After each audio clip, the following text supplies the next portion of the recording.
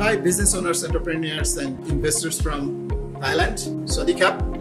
I'd like to welcome you to the International Investors Summit in Kuala Lumpur, Malaysia on the 26th and 27th of November. This is Dr. Haider from Business Summit. The Investor Summit Kuala Lumpur 2024 will be attended by more than 120 business owners, investors, and leaders from all around the world, over 50 countries. And I'd like to invite the friends and business partners from Thailand to join this summit. Grab your investment from the investors. Also, grab the opportunity to export your items to many countries globally, increase your business, increase your revenue, and increase your profitability. Don't miss it.